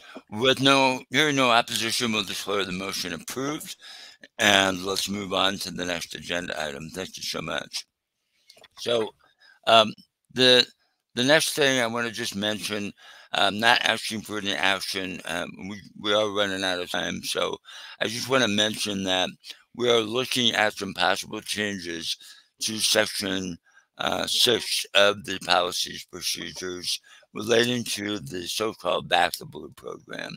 And this language can be found in section 6.8. And generally speaking, we have implemented what the legislature said they wanted. They may not have fully understood what they've adopted. Uh, and I, I think, you know, kind of the grapevine uh, discussion that I've heard about suggests that some of your fellow county office holders, county sheriffs, judges, and whatever aren't necessarily very satisfied with the law as it was passed um, because it really doesn't do anything. It's, we do the redaction as the law requires, but it do, do, really doesn't disguise or hide much information that uh, somebody could find if they really wanted to, to find it. So, and I, I would have to say generally that's true anyway, even if we were um, expunging the record from the Iowa Land Records website entirely, that doesn't mean that that person can't be found. Um, that's kind of a false uh, sense of security. But at the same time, um, you know, there are some risks that at some point down the road, somebody's going to say, rightly or wrongly, you know, they didn't do what they expected us to do. They followed the letter of the law, but it doesn't really help me. And um, just as a sort of preemptive, okay, what can we do differently? Uh, we're looking at options that would allow us to withhold more information from the ALR website, but do it in such a way that it doesn't interfere with the titling process in Iowa. And one general way you can do that is to um, provide special access to certain certain people and certain roles under the law, and so that the people that need to see it can see it, or that permission should be granted by um, the uh, person to a specific another entity like a bank or a mortgage company or a title company. If they needed to see it and we had their permission we could enable ways to allow that to happen without put, putting it all on the internet. I'm just making you aware that this discussion is taking place um, both internally we're also going to be having a meeting with uh, representatives of the Iowa Land Title Association to explore ideas. And we also have a meeting set up with the Bar Association uh, to discuss the same issues. So we do not have a specific proposal to present to you today. I'm doing my due diligence to inform you that this discussion is taking place. And if you have any comments about it, I would welcome them. Um, so that's the explanation. Are there are there any comments that you might wish to share? In the chat pod or otherwise.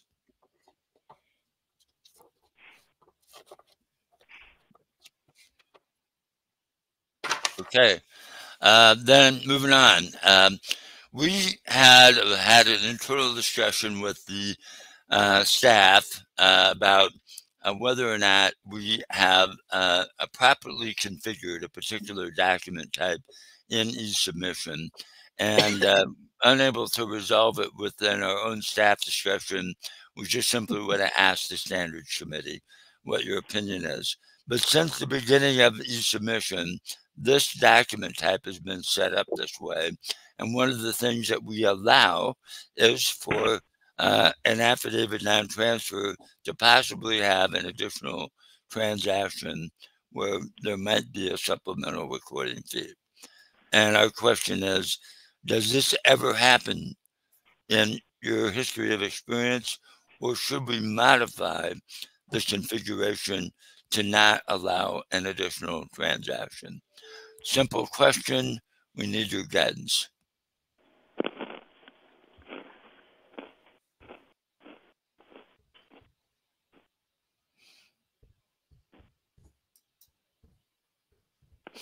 And I see that Sue and Joan are both entering a comment. Jane is entering a comment.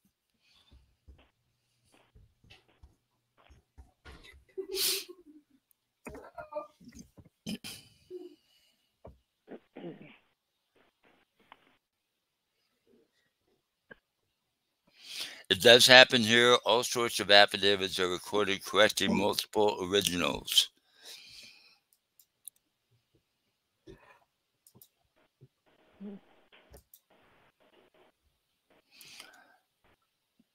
Sue is not. Are, are you saying goodbye? yes, you, I'm going to have to say goodbye. Okay, goodbye. All right.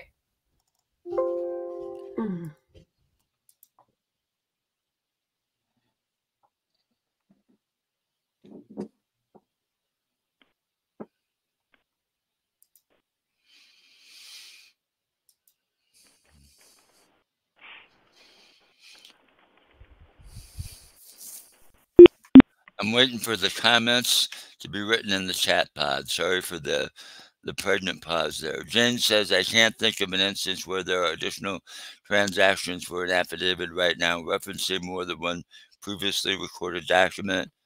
but I would say a reference is not really an additional transaction. It's just a cross reference, right?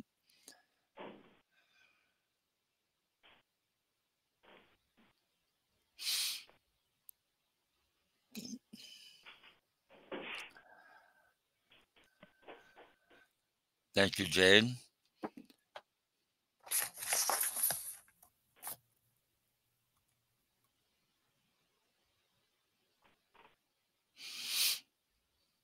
It's okay to talk, everybody. okay, uh, Jones said, we see affidavits correcting a mortgage assignment of rents and other documents. Jolyn says, same as Joan, it does happen here too.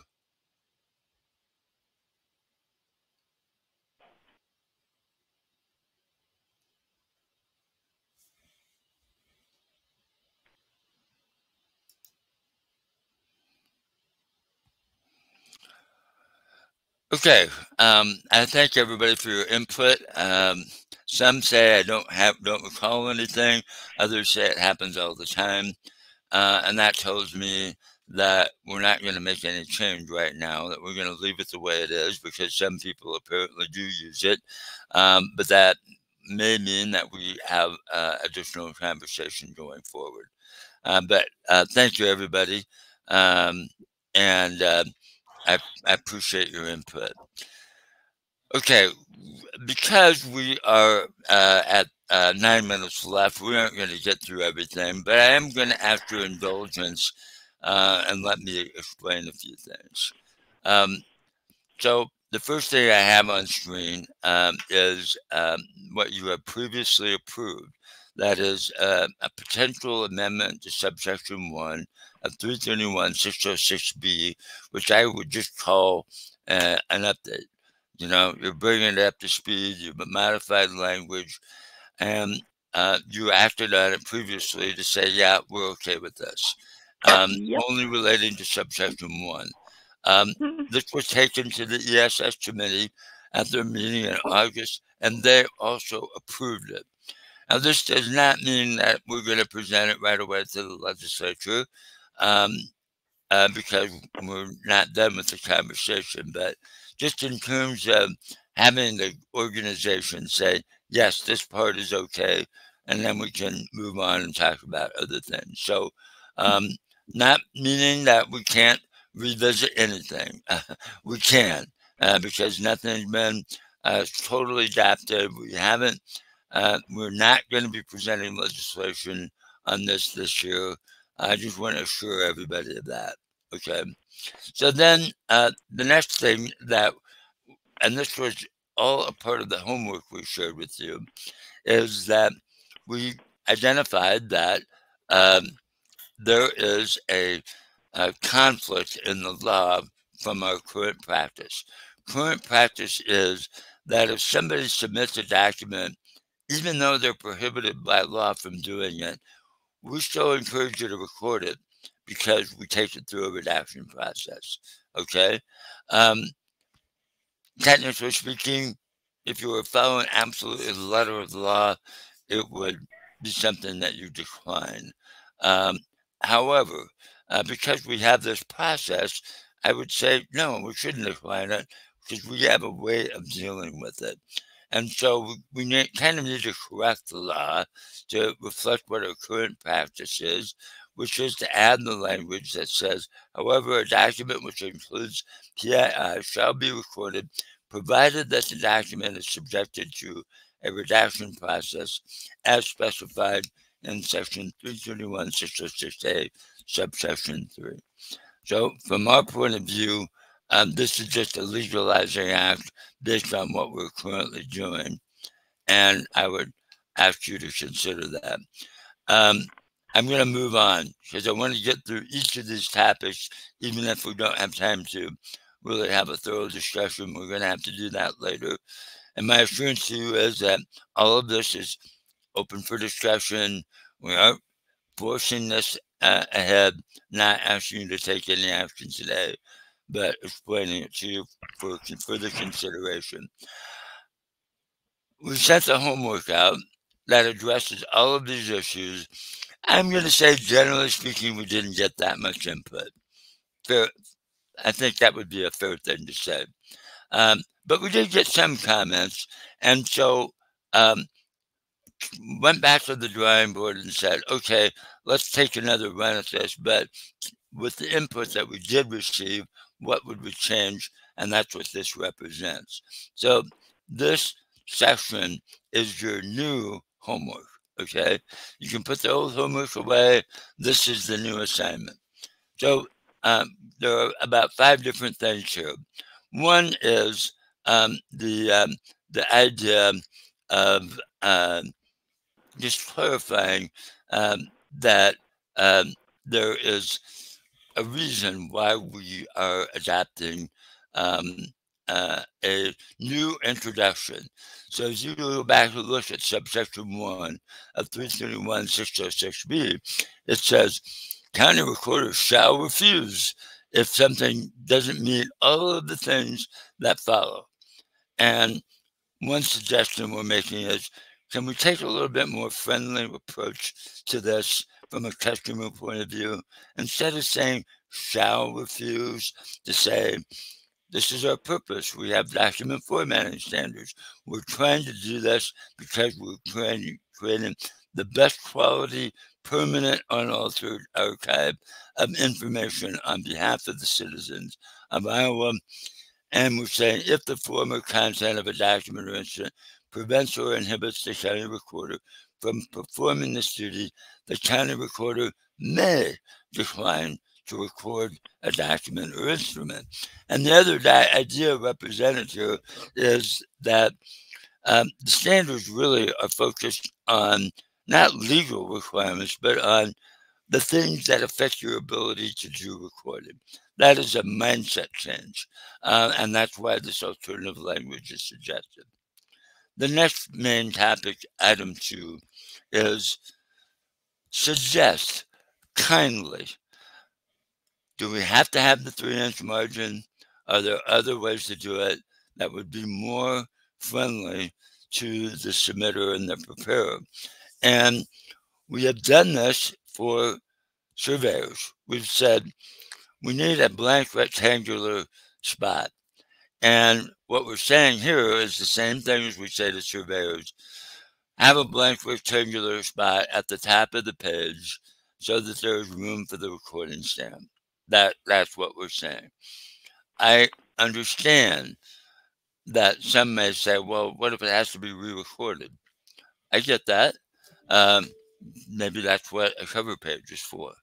Um, uh, so recognizing there may not be universal opinions on this, but this is the idea that we're presenting.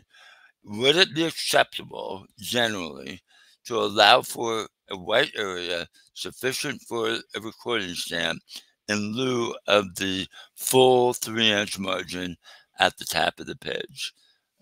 I'm going to open it up in here. I just want to get through all, all of them.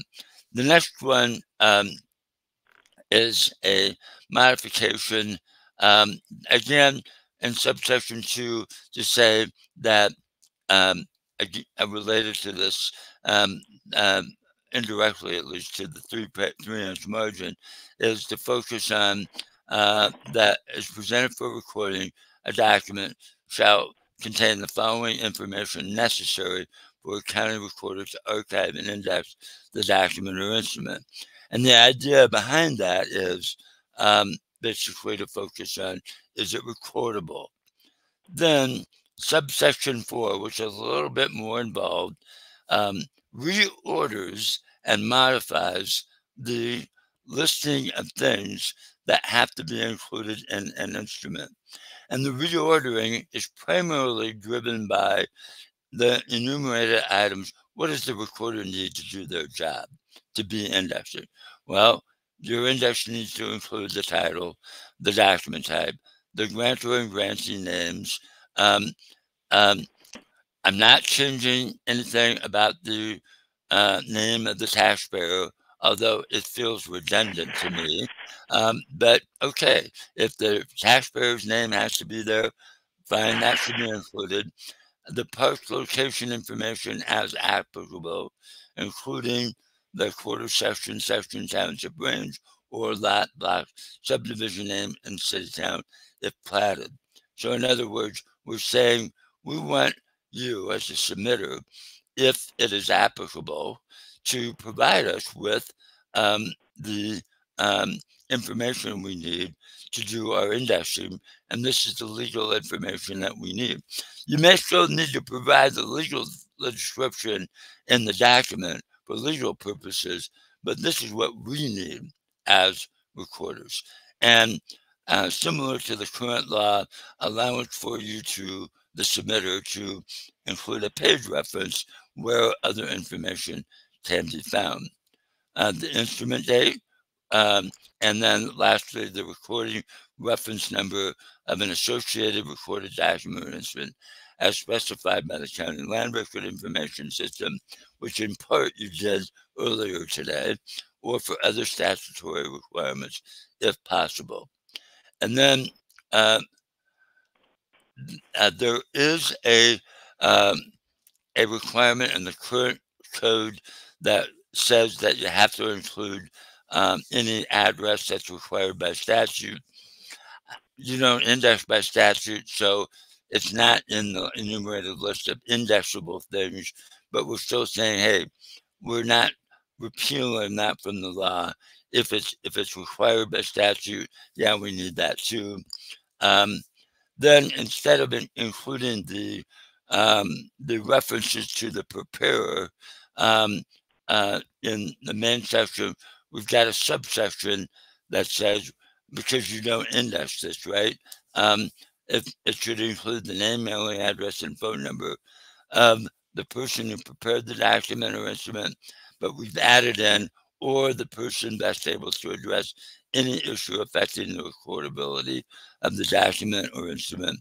If a document or instrument is presented in electronic form, information may be submitted as metadata, which accompanies the document or instrument. I'm acknowledging right now that I know some people have said that the standard should be the same for the electronic documents and physical documents. I'm not agreeing with you on that. I think an electronic document is a different thing. And you already said so in subsection one. Uh, if you go back and look at the details, we did add in the idea there of treating something differently if it's a physical versus an electronic document. I understand that not everybody may not love that, but I'm here to present an idea.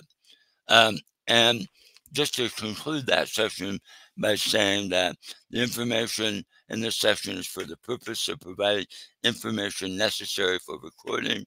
And we're saying document information necessary to execute a transaction or to have legal effect shall be included in a document as determined by the preparer in accordance with legal standards. The idea here is let's put it right in writing, black and white. Not the recorder's job to evaluate the legality of a document. That is the responsibility of the preparer or the people who participate in executing the document. I know not everybody agrees with that either, but um, kind of I've heard some people say recorders record, um, and this is just affirm, affirming that. And then um, the last section here uh, really gets to the whole idea of would you be open to permitting a submitter to prepare an index legend and submit that as a part of the document, as a part of maybe a cover sheet or maybe as a part of the first page of the document? You have found it acceptable for surveys and plats. Has that worked for you? And what if we did the same thing in uh, a regular document? Encourage preparers to put the information you need to do your job in a concise area so that it is easy to understand. And then we're also basically saying you got three options. You include it on the first page of the document, you include a cover sheet, here are the requirements for that, or you can provide an index legend. You get to uh, you get to choose. Um, the last thing I'll mention just to call out is that in this proposal, this draft, we are clearly stating that attestation statements should not be included in a cover sheet. Um, from what we understand, a cover sheet is really not part of the legal instrument. It is an artifact associated with the recording process. And therefore, things that have legal effect need to be in the document itself, not on a cover sheet. Okay, those are the concepts that we presented to you. And I'm going to just say, generally speaking, with all the time that you've had the homework, nobody has really said, no, no, no. Uh, I, I want you to talk about it. Um, we don't have time to do it today. I just need to thank you for just letting me present it to you uh, as a question. And then we look forward to having further conversations uh, about it in uh, future meetings. Um, we need to adjourn because we're already really over time. But if anybody has any comments or you want to virtually throw tomatoes at me, uh, please feel free to do that. Uh, this will be the time before we have to go.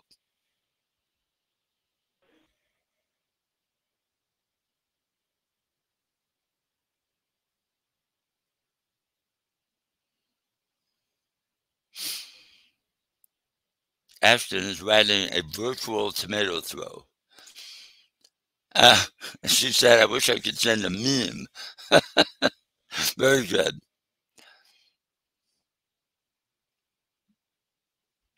All right. Uh, we'll bring this to a close, but I do welcome your comments. I'm presenting this to you as a new version of homework. We want to have your input.